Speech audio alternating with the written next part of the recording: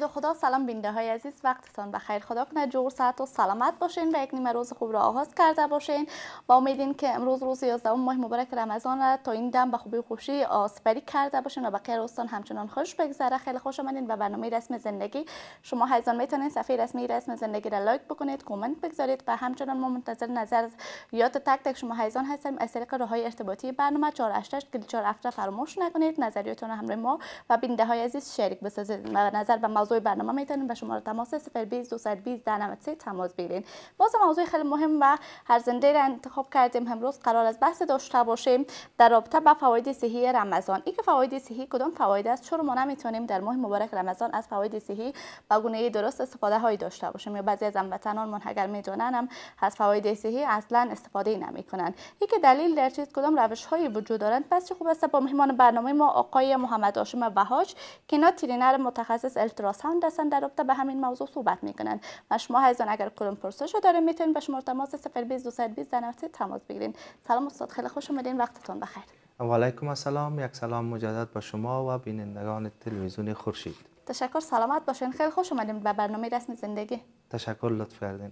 دکتر صاحب چه خوب است. در نخست در رابطه با فواید صحی رمضان بپردازیم. این که فواید صحی رمضان کدام فواید است؟ خب بسم الله الرحمن الرحیم. طوری که ما مطالعه می‌کنیم در تمام ادیان و نوع روزه رایج است و خصوصا در ادیان قبل از اسلام که مثلا ادیان الهی بود در آنها همش در مورد روزه تاکید شده. بله. و روزه این نیست که ما باید گشنه و تشنه باشیم. اصل مفهوم روزه تنها به گشنگی و تشنگی نیست. فقط در مورد روزه اگر در دو, جم... در دو کلمه بگوییم یک کنترل و یا پریز روح و روان است. مهمترین چیزی که در روزه ما و شما می‌بینیم یک عزم متین است و یک پرهیز است. از چی؟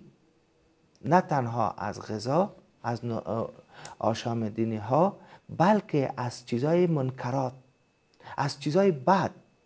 و این یک تصمیم جدی می باشه و در ماه مبارک رمضان وقتی که ما روزه می‌گیریم به خاطر از که ما خود تسلیم می‌کنیم به خداوند متعال و طبق حکم از او دهن بینی چشم گوش و دست ما روزه می‌گیره. و این همش یک فواید بسیار زیاده داره. ببینین شما اگر یوگا را دیده باشین یک نفر در زمین میشینه و دو ساعت به یک حالت خود نگاه میداره. اما یک سپورتمن دیگر اگر ببینین نیم ساعت هم خود محکم گرفتن نمی‌تونه چرا در یوگا هم بالای روح کار میشه. تلقین میشه بر از اونا. و ما هرگاه روح ما خوش باشه و روح ما تصمیم بگیره که ما یک کار خوب می‌کنیم اینمی روان ما شاد میشه. بسیار کسا هستن غذای بسیار خوب می‌خورن لباس بسیار خوب دارن اما خوش نیستن و همیشه مریض هستن گنگس هستن.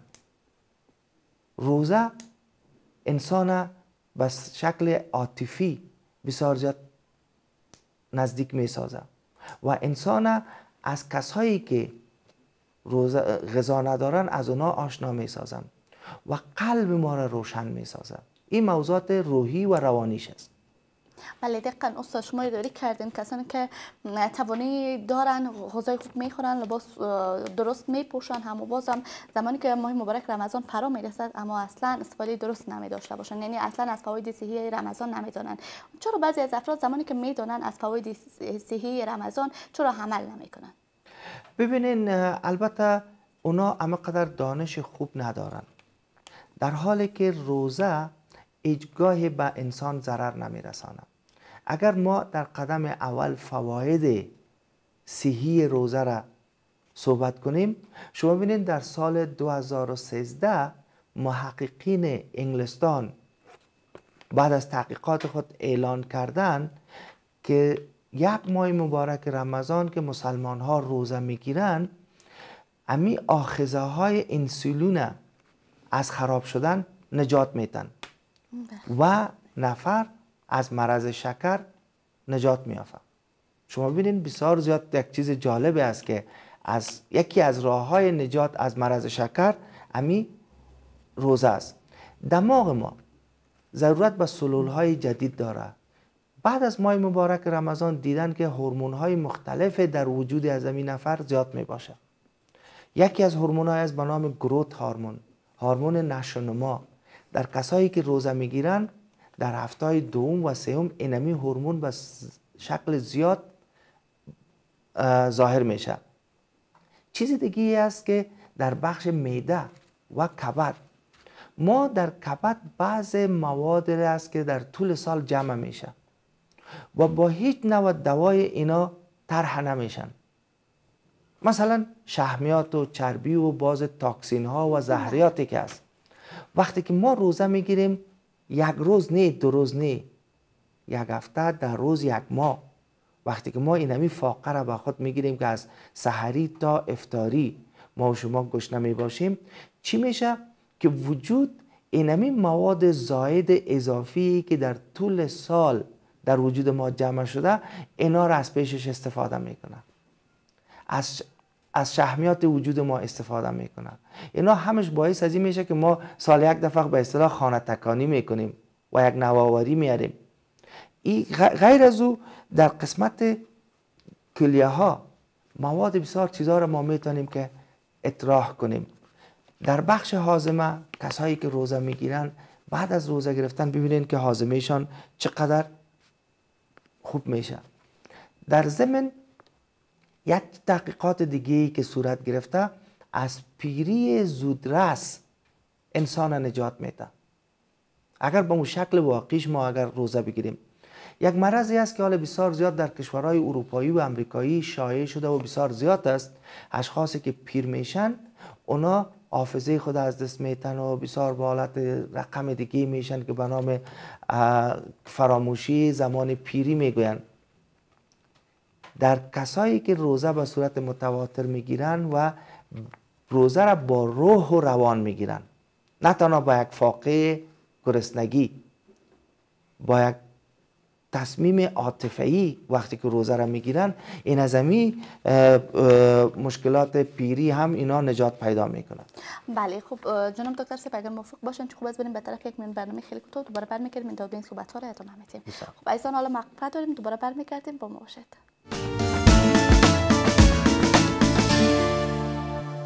بازم خوش آمدین. در ادامه برنامه رسم زندگی قرار داریم. شما حیزان اگر کدوم پرسشایی دارین سوالات دارین می‌تونین به شماره تماس 020 220 1093 تماس بگیرین.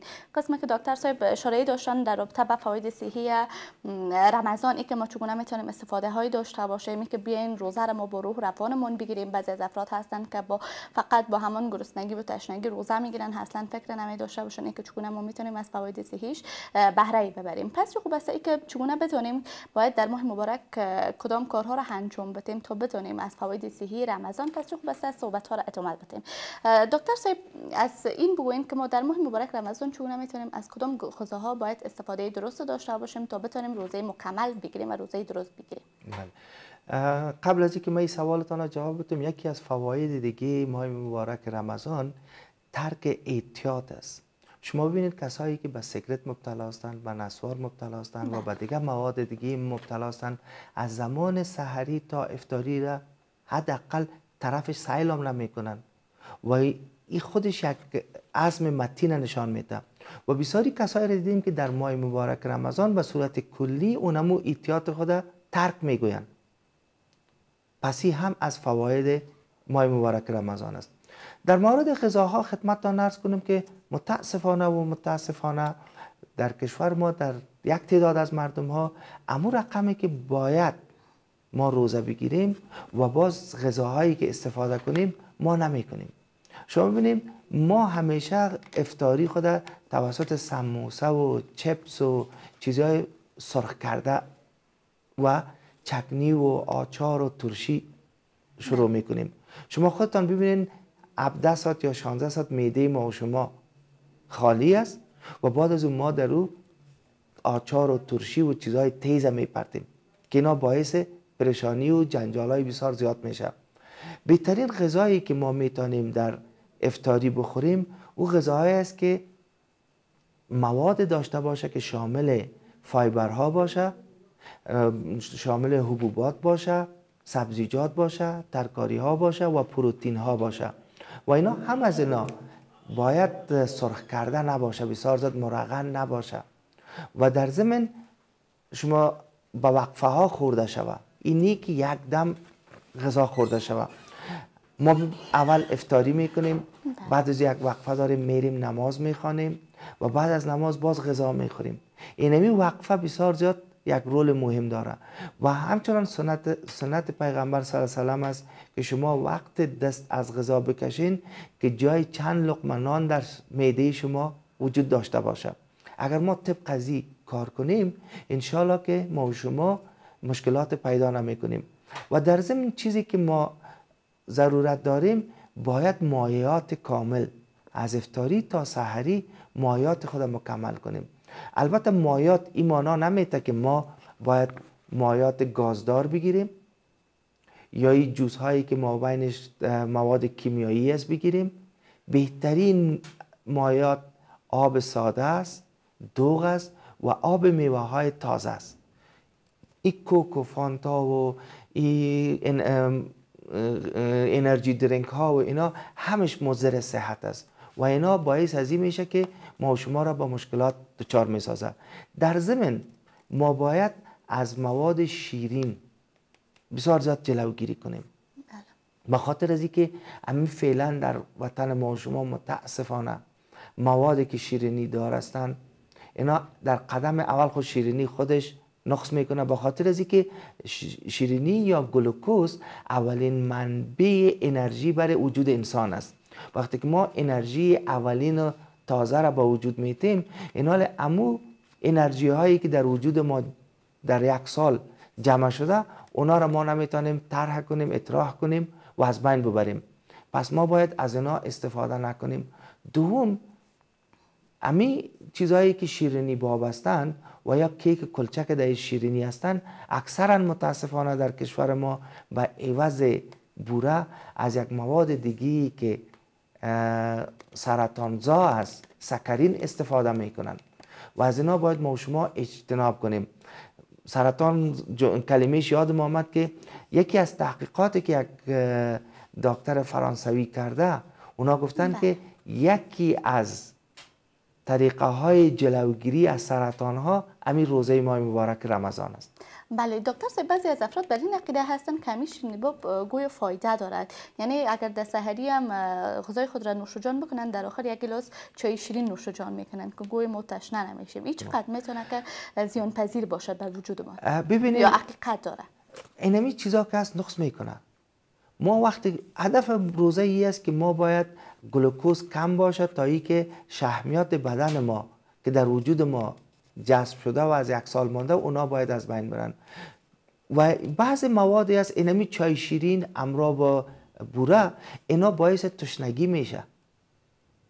چون گلوکوز است گلوکوز وقتی که در بدن میره آب هم که خود جذب می‌کنه. آب بدن هم که خود یک اندازه جذب می‌کنه. اینا ای چی میشه که ما را دگام تشنه می‌سازه. و دیگه اینا شیرنی بابا یک چیز دیگه هم داره که اینا ادرار زیاد می‌سازن. اطراح مایات زیاد می‌سازن. اینا به عوض از که فایده کنن با ما نقص می‌کنن. پس در سحر چی باید نوشجان کرد دکتر بهترین چیز آب است چای ساده است و جوس های میوه های تازه. بهترین چیز. و اگر زیاد چیز می‌کنن دوغ با نمک دوغ هم با ما و شما. نمکیات ما را پورا می‌کنه و هم مایات پورا می‌کنه.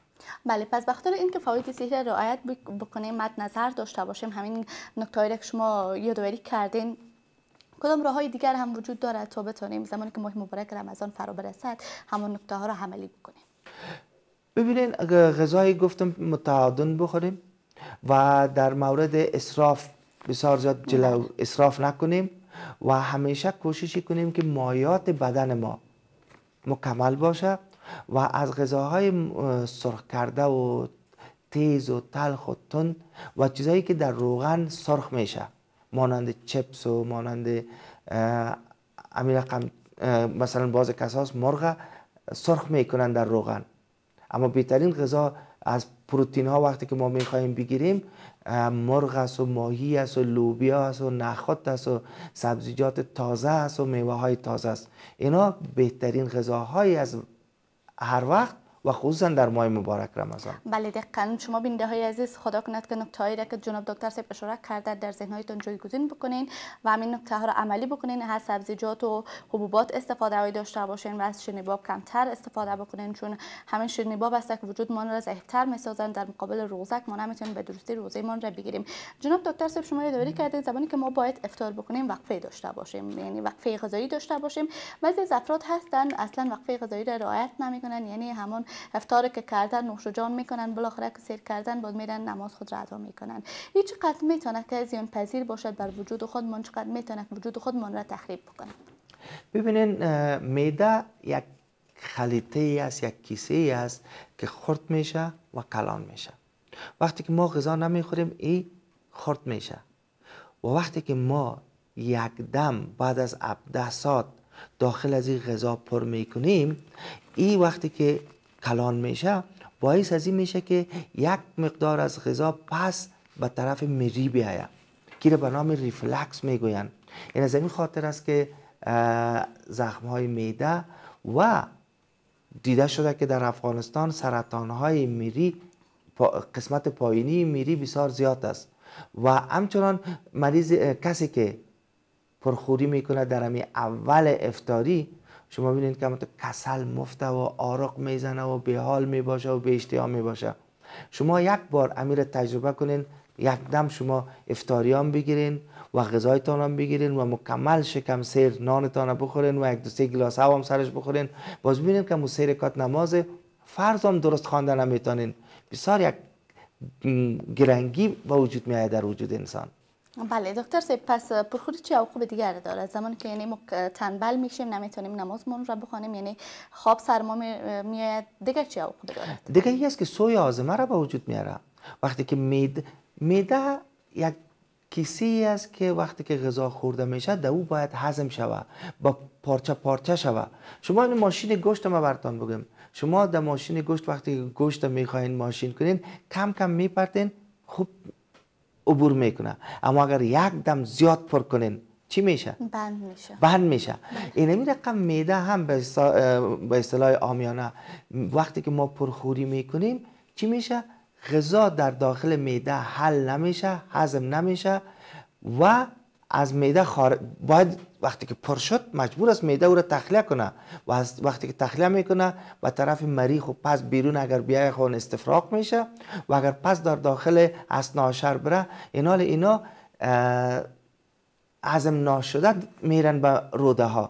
اینال ای باعث از این میشه که در روده ها هم اینا هضم نشه. چرا هر قسمت از جهاز آزمه از میده گرفته تا روده های خرد و کلان اینا جاهایی هستند که غذا به مراحل مختلف پراسس میشن و اینا به کتلات خردتره که قابل جذب در خون باشه و قابل ازی باشه که از او انرژی گرفته شوه اینا تبدیل میشن. اینا یک غذای عزم نشده به اصنعشر میره و به روده ها میره. او در اونجا هم همونطور عزم میمانه و حتی باعث اسهالات به وجود میشه. غیر از اینکه سوی حازمه و اینا می باشه باعث اسهالات و اینمی مواد مکمل باز دوباره خارج میشه. از او استفاده عزمی نمیشه.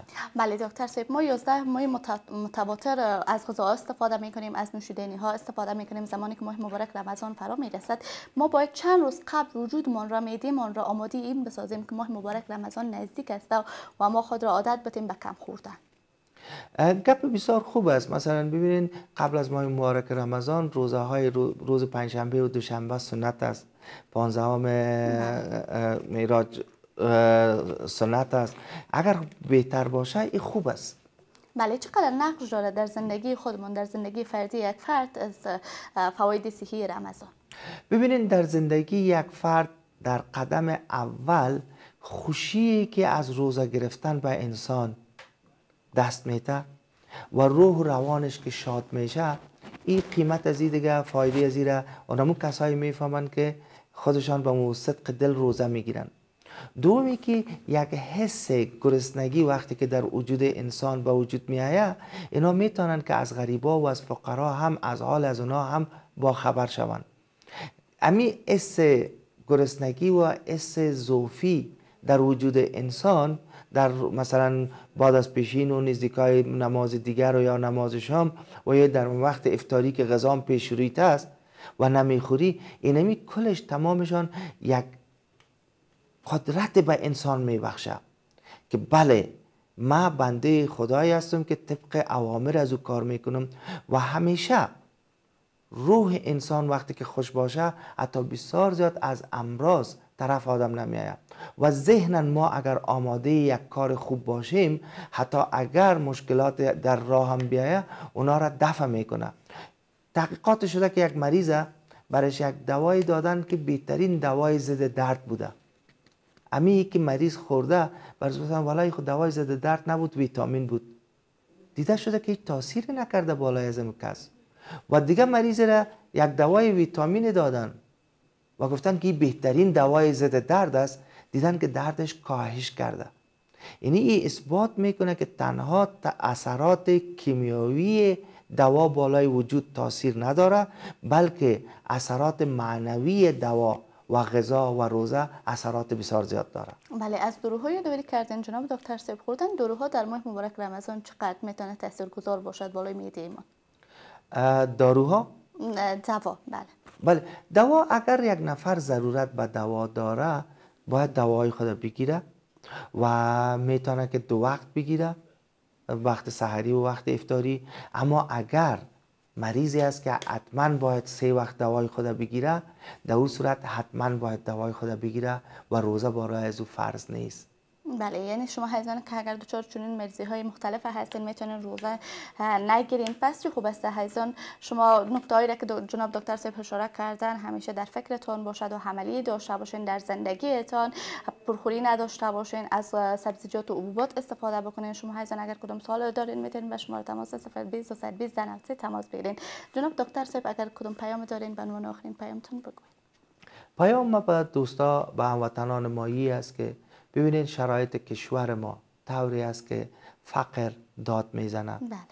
و تنهایی که ما و شما در ماه مبارک رمضان نه بلکه همه وقت باید در قدم اول فکر امسایه های خدا داشته باشیم و شاید دیده هم باشین که روحی کمک کردن به دیگران و افتاری دادن به دیگران در ماه مبارک رمضان زیاد می باشه از غذایی که شما نوش جان می‌کنین به امسایه هایتان به غریبا و به فقیرا بتین.